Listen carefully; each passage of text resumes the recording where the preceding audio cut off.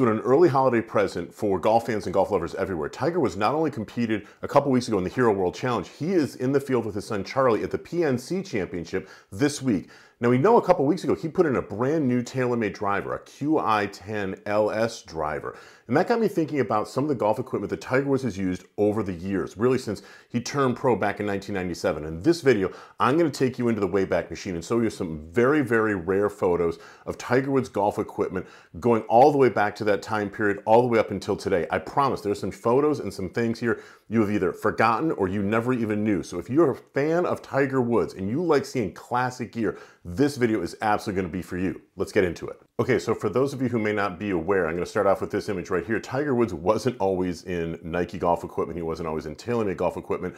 Um, going way back to his amateur days, this photo here being taken when he was winning one of his three U.S. amateur championships, you'll notice that driver, which is a little bit tough to make out, that is a Cobra driver. And specifically, that is a, um, a Cobra deep face driver. Now, he also used this driver to win the 1997 Masters. And you'll notice it's absolutely tiny. By today's standards, that would basically be a three wood. It is stainless steel. It is uh, certainly in the days way before we were getting into titanium. You'll notice that there is a steel shaft that is on there. Uh, this is a very, very difficult driver by today's standards to control, but Tiger Woods was probably the most elite driver of the golf ball uh, in the world at that point, and he was able to make that Cobra deep face driver work. If we go on then to the next photo, you're going to see the irons that Tiger Woods had in his bag when he was winning some of his earliest championships, again, including that 1997 Masters win. Yes, those are Mizuno irons. Specifically, those are Mizuno MP29s. Um, the Actually, the yeah, the MP29s were the 2, 3, and the 4. And then the MP14s were the 5 iron through the pitching wedge. And those wedges, um, he had a 56 and a 60 back in that day. And those were Cleveland 588 RTGs. Now, those are absolutely just dialed in classic muscle back blade irons with a very um, a very standard shape, a shape that we are going to see throughout this video that Tiger would say is really, really true to. He doesn't uh, really change the look of his irons, either in the address position or the positioning of that muscle. Um, he did, obviously, at that point, split his set. A lot of players nowadays do that almost all the time. But back in the day, it was very common for players to use a three iron through pitching wedge that were all the same iron. So in, in some ways, Tiger Woods is a little bit ahead of his time, going with the 234 and a slightly easier to hit, and I use that term very loosely, slightly. Uh, that MP29 was a little bit beefier than the MP14, and he could get those long irons up in the air and control them a little bit better from distance. Again, the, the 588 RTG is a classic wedge. Cleveland still is putting out um, 588 shaped wedges. They have a, a, a large number of wedges now in 2023, but that teardrop shape is an absolute classic and it's something that's carried over as you're going to see throughout much of Tiger Woods' career.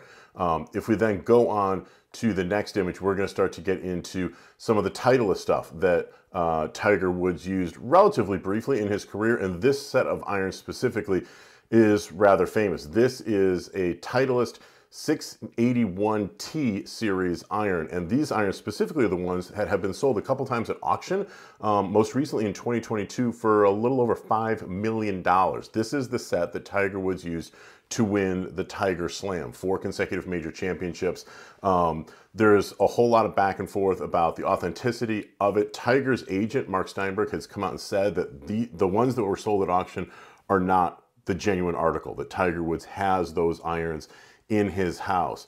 Um, two of uh, Titleist uh, senior PGA Tour reps who were working for Titleist at the time both adamantly will vouch that these are actually the irons, the ones that were sold at auction. They 100% uh, verify that. Um, other services have verified their level of authenticity. Um, so you can sort of read into it what you will. Again, Tiger and his folks deny that they were sold at auction. He claims he has them everybody else basically out there is saying that no, he did give them away at the Westchester uh, Classic many, many years ago when he was transitioning into some new Titleist stuff. Um, but that's sort of where it is. That then takes me to this. And this is going to be stuff that now I think a lot of golf fans will start to really get into. Um, these are the irons that Tiger Woods, this particular picture, um, I'm fast forwarding a few iterations in a few years, but now we're into the Tiger Woods VR Forged blade days. And this gets, I think, to be really fun at this point. Now, a couple things I want to tell you about specifically in this, this shot. The head covers. Um, Frank, the head cover, if you haven't had a chance to go into YouTube and check out some of the commercials where Frank appears in Nike commercials, it is absolutely fantastic. Really, really funny stuff. You should definitely check it out. We've, we've seen the Tiger head cover obviously for a long, long time. Some people may not be aware of what that bird is. That is a kiwi. And Steve Williams, who was a caddy for Tiger Woods for a long time, certainly during his really big stretch of major championships in the early 2000s, um, and then throughout early 20, uh, 2010, I believe it was, when they, they finally broke things off. From New Zealand, that is a kiwi. That is a nod to, uh, to his caddy, Steve Williams, right there. Um, the irons themselves are, the VR stood for Victory Red, um, and that was sort of the line that, that came through. Now I want to move on to the golf ball. You can see this is a really interesting one and a little bit of information about Tiger Woods golf ball. This is a, um, a Tiger Woods version, basically, of the Nike Tour 1 golf ball. Tiger Woods golf balls, when he puts them in competition, he almost always, if I'm not mistaken, plays a, a number one still to this day. Um, he has Tiger stamped on the side of it. Sort of famously, Tiger Woods really doesn't autograph golf balls. I have seen a few of them out there, but that is something that he by and large avoids. I know he does tons of autograph stuff um, that goes onto shirts and hats and posters and all the, those kinds of different things. Not a big guy in terms of uh, autographing golf balls, but, but that is a golf ball from back in the day. Now we're going to move on to what is probably the most famous putter in golf. You can call it Excalibur, you can call it the Elder Wand. You hear golf equipment junkies talking about it in all different kinds of ways.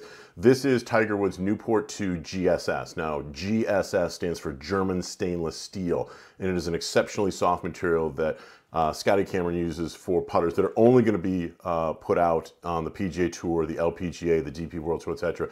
German stainless steel is not brought to retail because it is exceptionally expensive. And according to Cameron, when he told me about it, the average retail person would not be able to tell the difference between the 303 stainless steel that is used in retail putters and GSS. But elite tour players can feel the difference. And so Tiger has used this putter for a couple of decades. But as you will see as we go through this video, there have been many other putters that have sort of very quietly slid into his bag.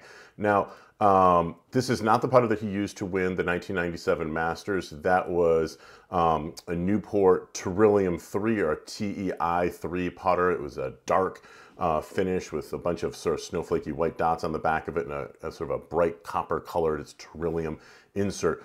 But this is the putter that I think most people are really going to associate Tiger Woods with. Now, you'll notice that there is a red dot, obviously, in the front, in the heel, and then as we move into this image, um, there's another red dot in the back. Well, what are those red dots? Tiger wanted the putter to be just a little bit lighter after everything got finished with it. And so in order to lighten it up um, without really changing or modifying the shape, Cameron went ahead and bored out a very small hole in the heel and a very small uh, hole, just removing just a tiny bit of material, just a couple of grams um, in those areas. And in the address position, you do not see those holes. Yet it became, from a marketing standpoint, something fantastic because he filled them in with red. It became very iconic. Obviously, we can see that there's Tiger Woods written on the bumpers. Um, it is something that people immediately identify as this is Tiger Woods putter, and, and they know that's the one. Lots of dings, lots of markups on it. Um, it is something that he occasionally will add a little bit of lead tape to the back when he's playing at the British Open or on golf courses where there are especially slow greens. Um, he has said in many cases that slow greens are a challenge to him, which is why when I saw this putter um, at the 2010 British Open at St. Andrews, it immediately caught my attention because you'll notice that that is a method putter. That is a Nike method at the 2010 um, British Open. And this is now a little bit better photograph taken a year or two later, but it's the exact same putter. So the Nike Method putters were um, really classically shaped putters. Tiger Woods put one into play for a little while. Rory McIlroy also had one. And the real sort of buzz about them was that, as you can see here, they had a polymer that went up from the bottom um, and then was extruded out the front, and then that was fly milled off and Ideally, you had the softness of the polymer, but the edges of the grooves were maintained so that would help to get the ball rolling a little bit faster. Tiger put this putter into play um, in 2010. It was sort of here and there. But I want you to sort of take a look as we sort of zoom in just a little bit on those grooves because as I was holding on to this putter, um, I believe I took this photograph the 2013 PGA Championship in Rochester, New York, Oak Hill. Um, that's a very different face than the one that was sold at retail, which is probably not surprising. Many of the world's best players have slightly altered or prototype versions of the retail stuff that you and I would, would go in and buy because there are no grooves, um, or I should say groove edges that you can see that are visible right in through here. Those um, black markings, I used to think, and a lot of people were, were, of the opinion that they just were drawn on in Sharpie. That's not the case. Um, there was definitely some type of a polymer that was in place there. But the groove edges, which was really sort of the, the selling technology of the Method family of putters, they, they were not there. Um, and so Tiger, again, did have a method putter, but his method putter was quite different than the method putter that most people would be getting. Now, this putter then really caught my attention. This is at the 2011 Masters, and Tiger Woods is on the practice green here using this small mallet putter that is, again, a Nike method. So the idea of Tiger Woods going to a mallet um, really threw a lot of people for a loop at this point. So it, it was, again, a very blade-like mallet, to, to be fair, but again, something different from the Scotty Cameron Newport GSS that has basically just become synonymous with Tiger Woods stuff over the years. That putter did not stay in the bag for very long. Um, as we transition on, I take you into some of the irons. This is a VR Pro. Uh, in this case, it's a five iron that I photographed. Um, if you take a look at this shape for the VR Pro, the Tiger Woods Club from, this is again, talking like 2012, 2013, and comparing to those Mizunos from the beginning of the video, from a shape standpoint, this is very, very similar. It's a very classic muscle back blade, virtually no offset, very, very thin top line, narrow sole. Um, what we didn't know at this time and what came out later is that Tiger Woods has a small hole punched into the toe section when the clubs were still in their raw steel phase. It had a little bit of tungsten inserted into the toe and then the chrome finish is applied over the top. So it was never visible. Um, that technology we'll sort of get into in just a little bit longer, when, in a little bit later in this video, because Nike is going to take advantage of that fact. But the idea is that Tiger is trying to offset the weight of the hosel by adding more weight out into the toe, and that's going to pull the ideal hitting area, the sweet spot, more into the center of the face. Um, again, very ahead of his time in, as far as doing that. High levels of customization, really precise building. Um, this is now Tiger Woods' bag um, at that same championship. This is Oak Hill 2013, and as you can see, we're now talking about a lot of Covert, uh, the VR Covert and Covert Pro family of woods. As you can see, and perhaps as you might be able to remember, the Covert family of woods from Nike had a very, very unique shaping. Um, in the middle of the, both the drivers and the fairway woods, there was basically just a hole, and the idea was to put more weight into the perimeter, take weight out of the middle you really wouldn't do that um, these days. Most manufacturers are really big on throwing a lot of weight into the middle and the back because it really boosts the moment of inertia, the MOI, and increases stability. Back at this point, Nike was trying to add more weight to the sides, um, but that weight was going to be forward. So um, theoretically, it should have helped to increase ball speed and give woods a, little bit more distance, um, but it was a little bit shaky. And these, these clubs, by modern standards, do not have very high MOI, there, but they would, in the hands of, uh, of a really good player like Tiger, allow him to shape the ball around. You can see a very, very deep face. Um, that red was, was pretty interesting, and Tiger is still at this point into a bonded hosel, meaning that there is no adjustable hosel mechanism for Tiger. As I take a look into the wedges that were in that set, um, this VR Pro wedge has a very, very interesting sort of a deep C grind um, with a bunch of bounce way back, and there actually is a little bit of bounce forward. Tiger Woods is very particular about his wedge bounces, especially in the 56 and the 60. Um, he likes the benefit of having bounce when he wants it, but as you'll also notice in this photograph, there's a significant amount of material that's been cleared out of both the heel and the toe section. That allows him to open up the face and slide the leading edge underneath the ball on a very, very tight lie.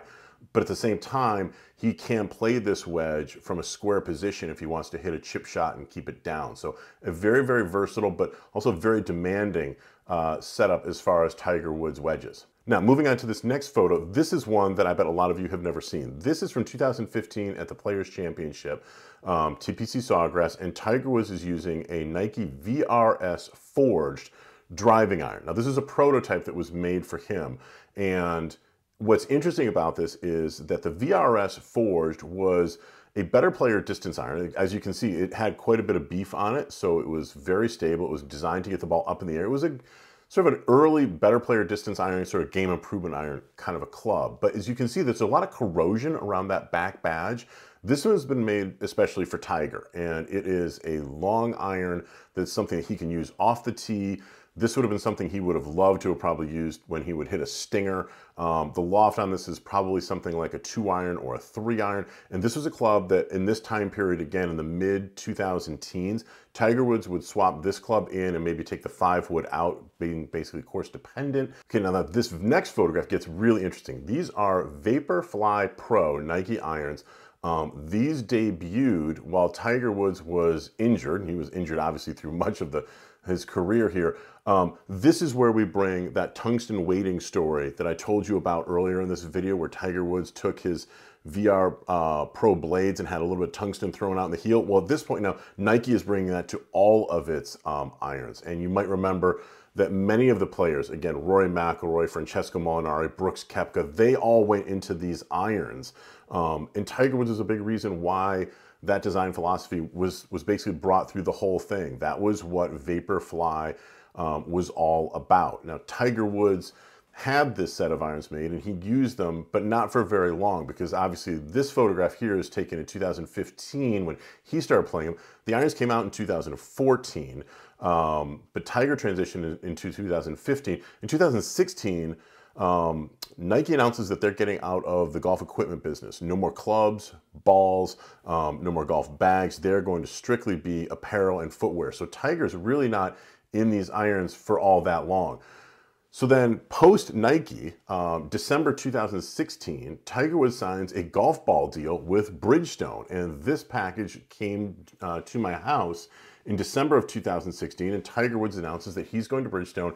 He's going to be playing the Tour B330S golf ball. Now, what a lot of people may not be aware of is that Bridgestone had manufactured balls for Nike for a long time. And Tiger basically came out and said, look, Bridgestone has been making my golf ball for a couple of decades. So signing officially with Bridgestone was something that he felt very comfortable with. He knew the people at Bridgestone. He they understood him. He understood them.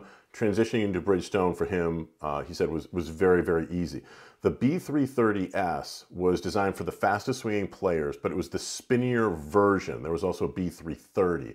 Um, now, Tiger Woods has been playing Bridgestone golf balls ever since. There's been a little bit of back and forth about exactly which one he has used most recently. Um, Earlier this season in 2023, Tiger Woods, in an attempt to get a little bit more speed and distance since the back fusions and the, uh, the fusing of some of the vertebrae in his back, he has switched over to uh, the Tour B uh, golf ball, the straight Tour B golf ball. He had been playing the Tour BS, um, which is again the spinnier version. But as he's trying to get more distance, as he's trying to keep up with the other players out there, he has gone with a longer distance ball. I talked to the folks at Bridgestone. They confirmed that with me. He first put it in at Riviera this year, and it's basically been staying there. He has been playing that ball um, at the Hero World Challenge, and I would imagine he's probably going to stick with that ball.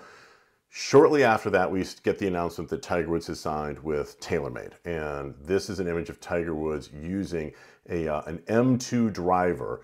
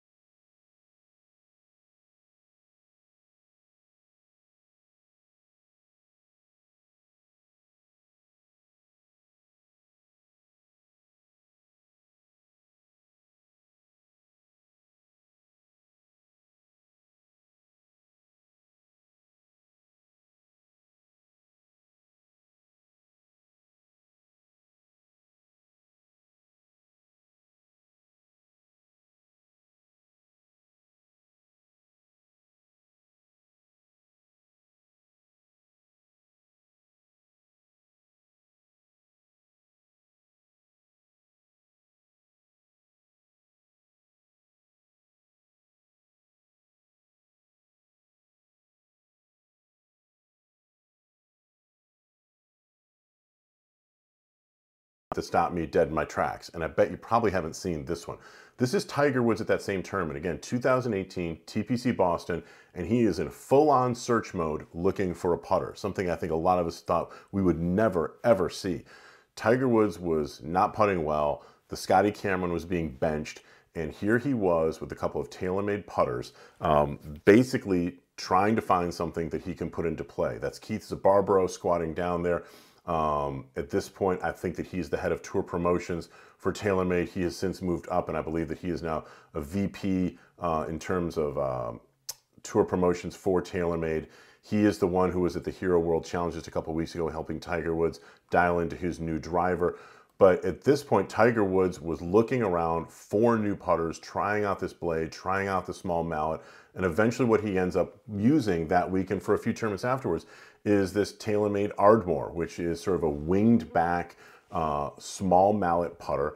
He had some levels of success with it. It stuck around for a little while. Um, eventually that Ardmore though does get benched and Tiger Woods, as you can see in this photograph from 2019 uh, at the Northern Trust Championship at Liberty National Golf Club in New Jersey, the Scotty Cameron putter is back at this point and Tiger Woods is fully into uh, TaylorMade stuff. He's got uh, 13 TaylorMade clubs, including an M5 driver, an M5 3 wood. He's still sticking with the M3 and the 5 wood, um, but now we also have, uh, from his irons, these are the um, P7 TWs. So that prototype set, that phase one, eventually becomes P7 TW, and that has not changed. Uh, he is still playing P7 TW irons, and you can still get those clubs from TaylorMade. And again, that iron uh, in terms of its shape, its weighting, uh, all the different playing attributes about it really has not changed. X100s from True Temper have been his iron shaft throughout his entire career. That has not changed either. Um, so again, we're going into some different wedges now. We get into uh, the milled grind stuff.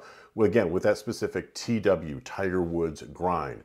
Uh, a little bit of bounce forward, then a flat second section, and then uh, a buffered off trailing edge. So three distinct sections within the TW grind uh, in the TaylorMade wedges, and those have carried all the way through milled grind 2, MG3, and now even MG4 as well. Here we see Tiger Woods playing at the 2023 Masters. He initially moved into Stealth early at the PNC Championship. Um, he then moved into Stealth 2, um, one of the things that was really interesting to me though nowadays is that this is a picture of Scottie Scheffler and I put him in there because Scottie Scheffler wears the Nike Tiger Woods footwear. But as of now, as a lot of you who have reached this point in this video would be very well aware, Tiger for the most part is wearing FootJoy footwear. Um, through the complications with the car crash, the knee surgeries, the leg surgeries, his stability needs evidently are still not able to be met by some of the Nike footwear that is available. We have started to see some prototype things, him, him wearing a dark colored shoe that really didn't have any corporate logos or signage on it, um, but he has been wearing uh, essentially Tom, the FootJoy Premier series of footwear basically for the last couple of years anytime he's out on the golf course. So uh, it's sort of interesting that Scottie Scheffler is wearing the Tiger Woods stuff, but Tiger Woods is for the most part wearing FootJoy. And finally, the last picture that I'm going to end up with is pretty much the most recent one. This is Tiger Woods using a TaylorMade QI10 LS driver. Now, as of today, when I'm filming this, the QI10 LS has not been released, but I think that it's pretty safe to say that we don't have to probably wait very long to see this driver be put into play. We know that uh, Scottie Scheffler is there, uh, Rory McIlroy, Tommy Fleetwood, many of the TaylorMade staff players have already obviously been fit, Tiger Woods among them. He is using the QI10 LS driver. Uh, in his, his case, he's got a little bit different shaft in there than, than he has used in the past. That's a Graphite Design Tour AD VF shaft. Um, early in his career, Tiger Woods was pretty exclusively into the Mitsubishi Diamana stuff. Um, he then used Ventus, uh, specifically Ventus Blue, uh, in some of his Stealth and Stealth 2 drivers, uh, but now going with Graphite Design most recently. So we'll see if he sticks around with that uh, going forward as we progress into 2024. So look, I hope you enjoyed going through many, many years and a lot of really cool, rare photographs of Tiger Woods golf equipment. It was a blast to go through some of my files and to find some of these things. It brought back a lot of memories. I hope you enjoyed it. If you did, it would be fantastic if you would consider subscribing to my channel as well as hitting the bell button so you can get notifications when I've got new content coming out. Um, with 2024 right around the corner, we are looking for enormous releases, big new things coming out from all the biggest manufacturers. Lots and lots of new products on the way. You're not going to want to miss it. So thanks very much. And uh, I look forward to talking to you guys and seeing you guys real soon.